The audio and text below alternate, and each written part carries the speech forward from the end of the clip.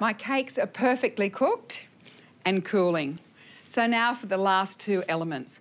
I'm making a ganache. Now I filled my chocolate tart with a ganache. This one's a bit different. In here I've got the cream and the chocolate melted and I've got a pinch of salt as well, but something different. Instead of butter, I'm using olive oil. I always use Australian extra virgin olive oil. It's the freshest and the best as far as I'm concerned. And it makes an unusual ganache, but it's got a beautiful richness and a lovely texture. So you just want to melt that. That is glossy and gorgeous. Now I need it to chill a little bit, not too much. I want it to be able to drizzle over my cake. So I'll just pop it in the fridge. Now for the fun bit. Look at this olive oil chocolate ganache. Look at that. We can pour that on.